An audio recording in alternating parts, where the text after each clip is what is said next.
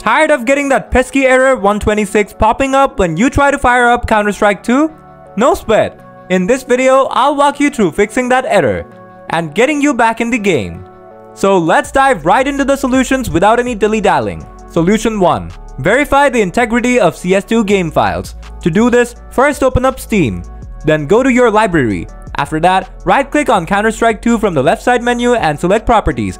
Next, click on Installed Files from here. Now, click the Verify Integrity of Game Files button, and Steam would start verifying and repairing the game. Once it's done, check if the issue is fixed. Solution 2. Install the latest DirectX runtime program. To do this, open this link in your favorite browser. Don't worry, I'll leave the link in the description below. From this page, select your language and click on download. Now, open the downloaded file and click yes to give permission. Now, click on I accept the agreement and then the next button. Untick install the Bing bar and click on next again. If there's a download for DirectX available for your Windows 11 computer, it will be shown here now. Just hit next and it'll start downloading and installing DirectX on your PC. Just wait until it's done. And when it's done, hit that finish button. Now check if the error is gone. Solution 3. Turn on compatibility mode for CS2.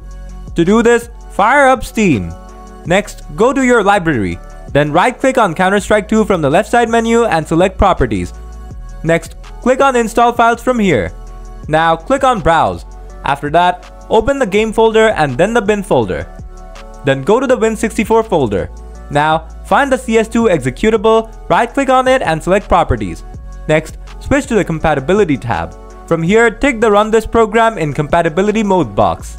Lastly, click on Apply and then on OK to save these changes. Now, check if the issue is fixed. For this one, open up the File Explorer. Then open the C drive and then the Program Files x86 folder. Now go to the Steam folder and then to the user data folder. Then just open the folder with the number. From here, delete the 730 folder.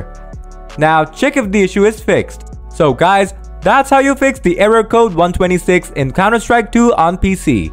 If the video helped, smash that like button. Got any questions?